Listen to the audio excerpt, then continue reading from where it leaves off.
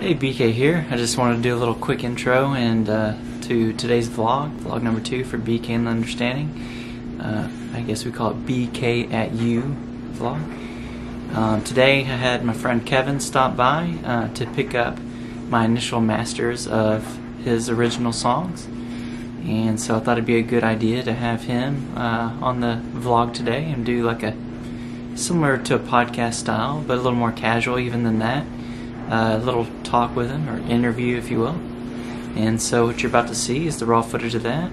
Uh, before uh, we start that, though, once again, I wanted to remind viewers that at the time of this video, um, October 1st, 2021, um, that the best way you could support BK and Understanding is to go to our Bandcamp and purchase our music and help us out right there. Uh, over time we'll add ways to support us and over time hopefully we'll be able to offer physical media and more merch.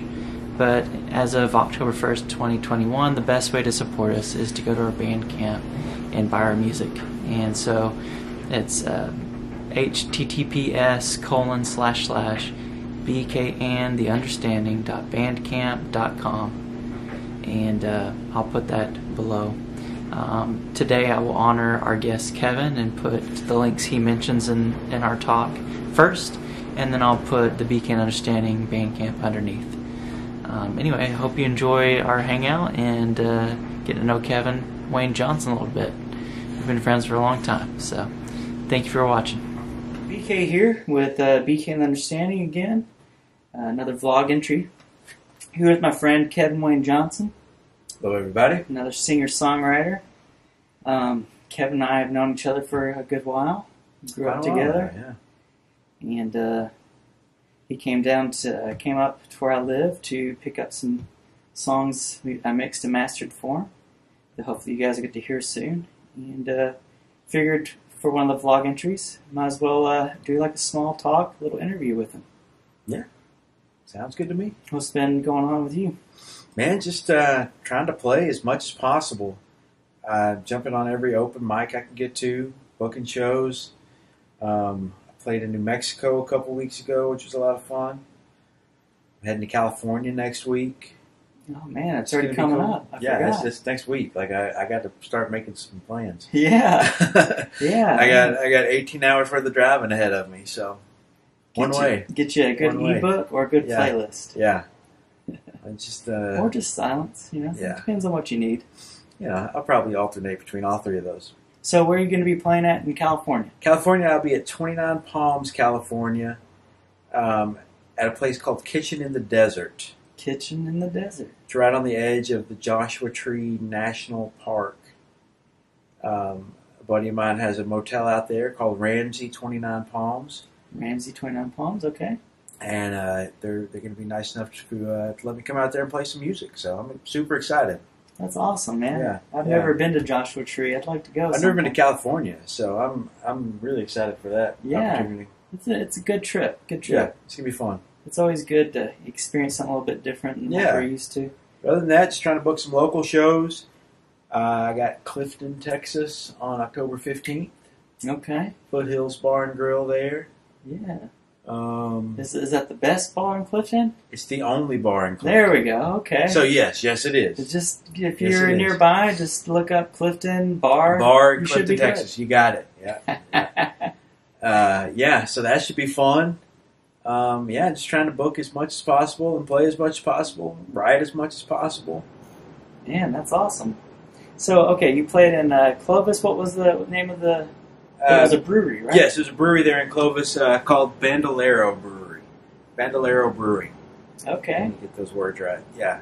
And I Uh, remember you told me it was pretty good, uh, good stuff. Yeah. the brews. the beer was phenomenal. Yeah, I had, uh, I think I said I had three beers while I was there. Yeah. You know, which is I was there for about four hours, so Yeah. that's that's a good pace. Uh huh. Um, but yeah, I had uh, Pancho and Lefty was one of their beers I had. Oh yeah. Um, that one was really good. I had the New Mexico IPA, which I really enjoyed, and the third one is oh, uh, uh, English class. okay. That was the stout that I had. They were all very good. What was the ABV? Do you remember? On I don't. I don't. I think the English class was the strongest, but I could be wrong. Yeah.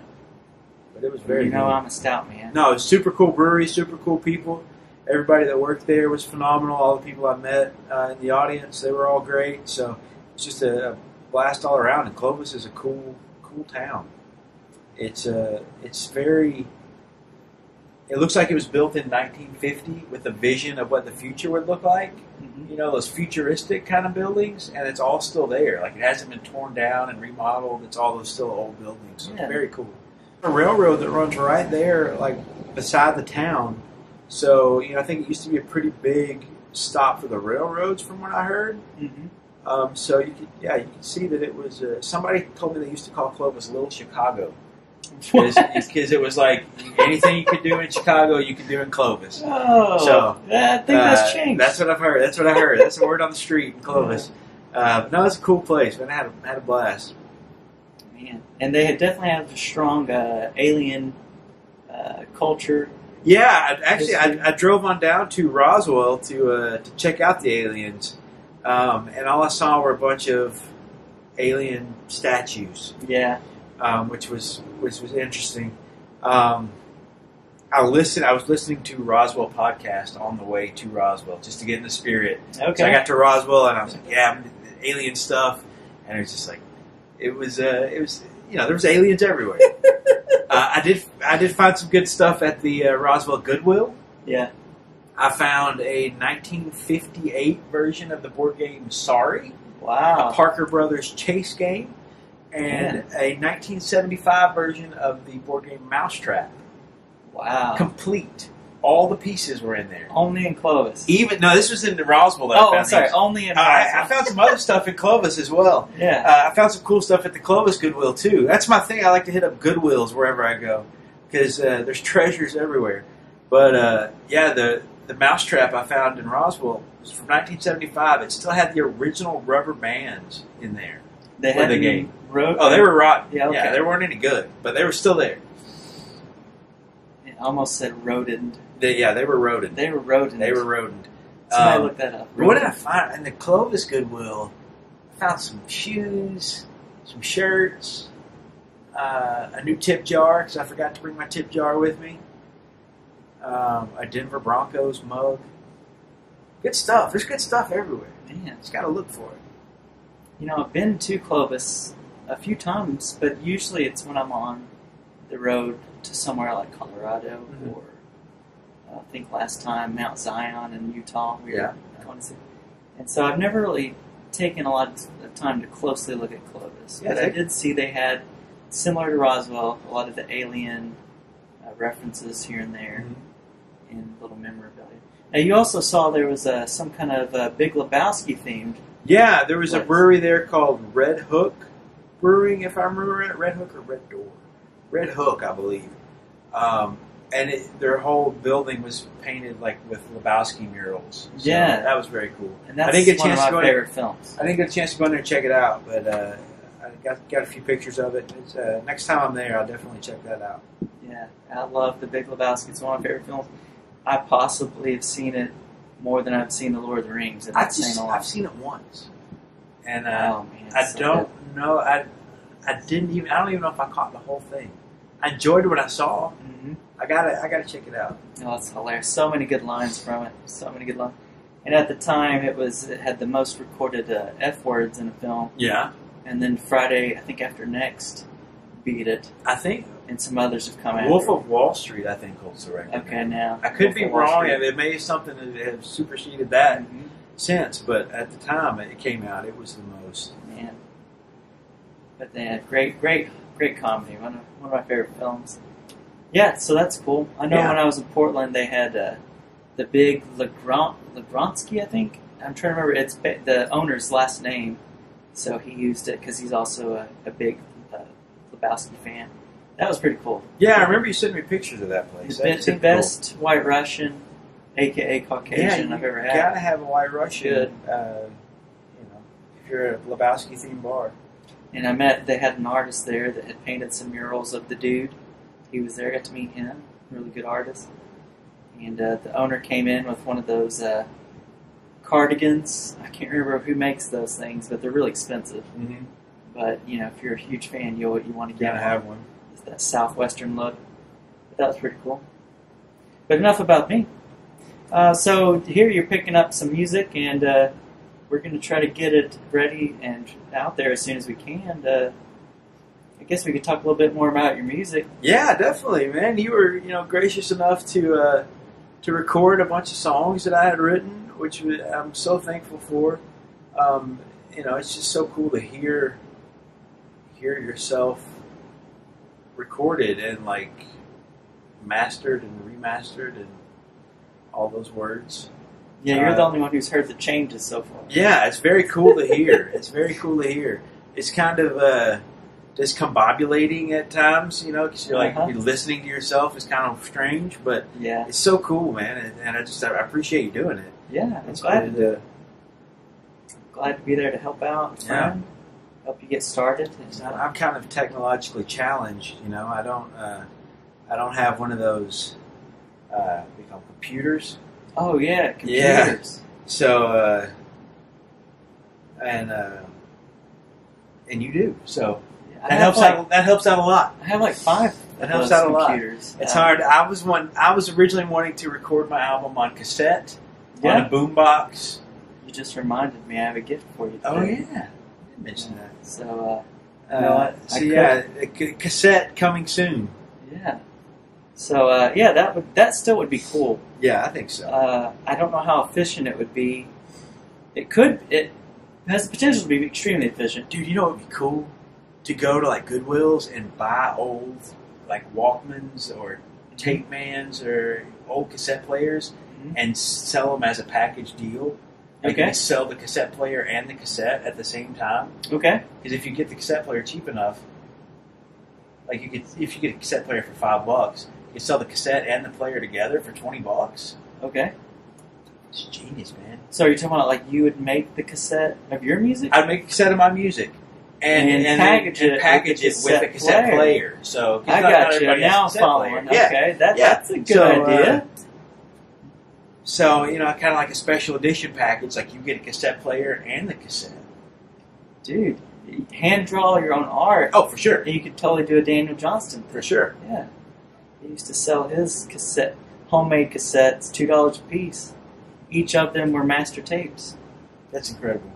Yeah, he didn't. He didn't understand that you could dub, make copies of your cassette Wow. tapes. So he just went and live recorded over and over again until finally someone did. yeah, it's like, Hey, Bill, that too. You can save yourself a lot let's of make a copy of this. But o- over time, people started talking about it in Austin, and uh, they Yeah. found out each one of them had unique, unique tapes, That's and they so started cool, coming man. together and building a community around it.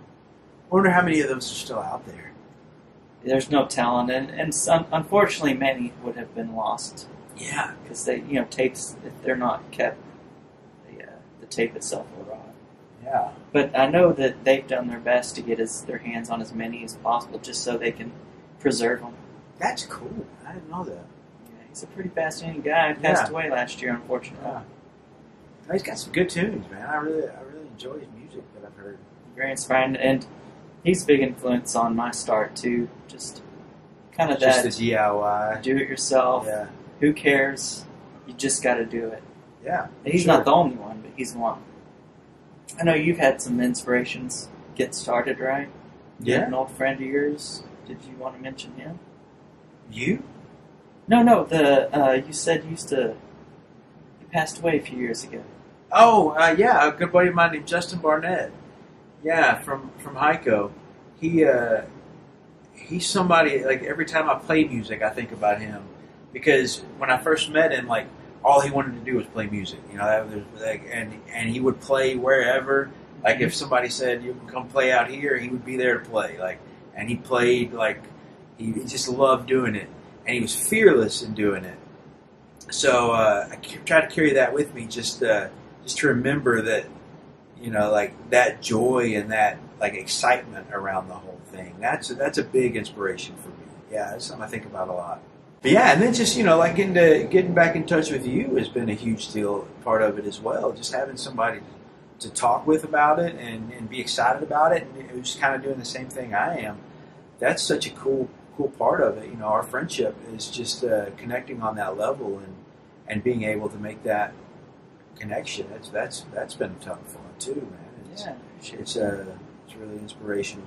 It's good to have friends. Period. I want to Yeah, start there. for sure, for sure. And uh, you know, as we get older, it's harder to maintain friendships, Yeah, and a lot of it is just responsibilities of life, and you just go Mhm. different directions. So you know, it makes it more valuable when you when you're able to keep those friendships and you appreciate them much more.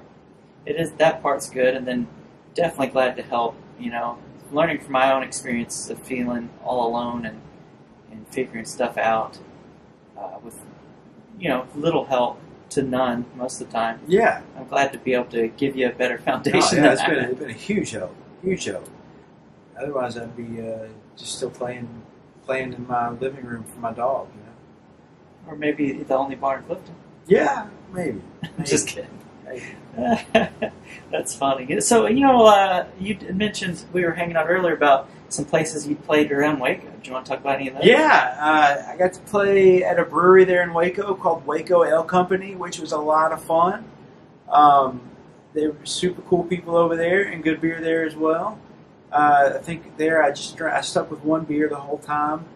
Um, it was their their uh, their lower ABV IPA.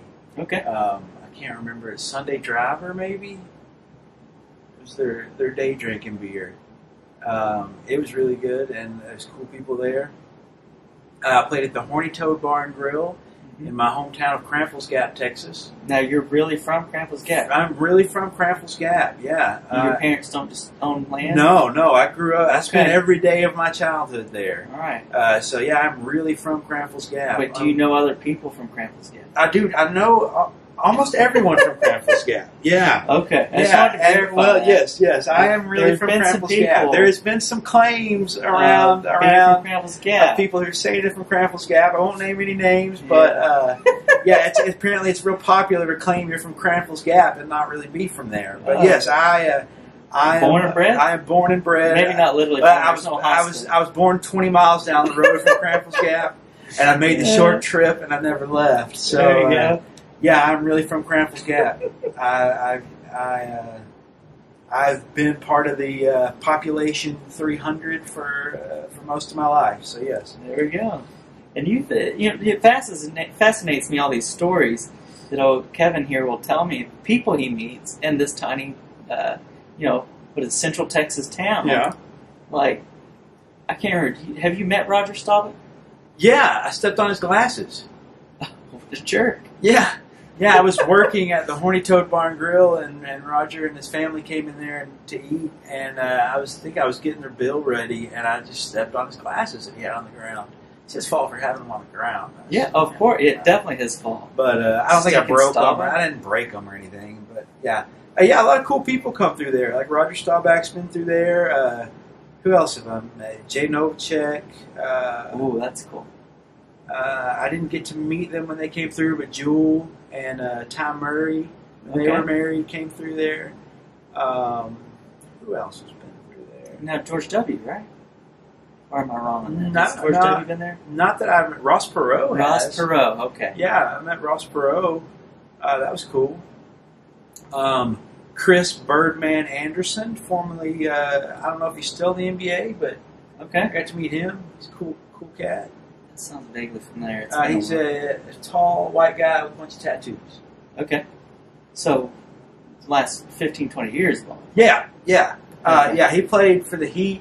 Uh, I, don't- I remember- I know he played for the Heat. I'm trying to remember the other teams he played for, but I'm completely blanking on it right now. Okay. Yeah, he was a he was a cool guy. It's a fascinating place. And then there's now a, a, a recording studio not far, right? The Not far out of family? town. Yeah. What's yeah. the name of their studio? Oh, Oh, cool. Mustang International, maybe. I could be wrong. Well, you know, I could also just. My add- apologies, Matt. I could Well- also just later Yeah. on look it up. Yes, Put text on. that. That's what I did in the first blog. Is when as I was speaking naturally, you know, I had my grammatical errors or even like one of my sentences, like it came out making no sense. So I Mhm. just went and added text of what I intended to say versus what I really said. Yeah, So sentences will do that sometimes. But that's you know that's how. yeah, language- that's cool, man. That is, yeah, it's uh, Cranfills Gap is a fun place to be. I agree. I always enjoy visiting and uh, glad to. And there's good people there. Good people yeah, there. yeah, like. Great company. Go to the Horny Toad if you ever visit. and you're bound to run into some interesting characters, and they will be more than glad to talk to you almost always. I, I'm, I'm willing to bet anyone who's not in the mood to talk will not be at the Toad. Am I right? Yeah, either that or they'll just tell you they're not in the mood to talk. You Yeah. know, people don't have don't have time to, to waste time. They don't want to waste their time or yours. So, yeah, they'll just tell you they're not in the mood to talk. Cool, cool. Well, yeah, appreciate anything else you want to say for it because it's probably going over. about 20 Man, uh, just uh, feel free to check me out on all the social media platforms. I'm on Instagram at KWJ Music. I'm on Facebook at Kevin Wayne Johnson Music. I'm on MySpace at uh, I Make Static. Don't that was a long time ago. It's probably all Uh. I am. You can ask Jeeves about me. Um, Bing me. Um, You know what I mean? the internet. Just I'm on the internet. Okay. Kevin Wayne Johnson music. You'll find me. All right. Well, cool. Yeah, thanks for for hanging out. Yeah. Thanks for this. thanks for thanks for having me. Yeah. Well, cool. We'll log off there. Um, we'll see what the, I may do an intro and closing or not, but otherwise than that, thanks for tuning in. Cool. So you just finished watching today's talk with Kevin Wayne Johnson. Please check out his stuff, and uh, you know if he's playing near you, go go watch him. Uh, if you're if you're in California and you can make it to the Joshua Tree Show, go there. And uh, same thing for Beacon Understanding. If uh, keep an eye out for us, and if we're in your area, come watch us. And uh, once again, in closing, I just want to remind guys, uh, you guys that the best way to support us as of uh, the time of this video is to go to our Bandcamp and purchase our music. And once Kevin Wayne Johnson has his stuff out, once we're done mastering it and getting it uh, to the degree we like it, we'll let you know, and he'll come back and we'll advertise that. Um, but once again, the URL for BK and Understanding's Bandcamp is https colon slash slash BK and the Understanding dot bandcamp.com. And as previously mentioned, I will list that below after putting up the uh, social media uh, stuff that Kevin mentioned uh, to honor him today. Thank you for watching. Hope you enjoyed it, and we'll see you in the next one.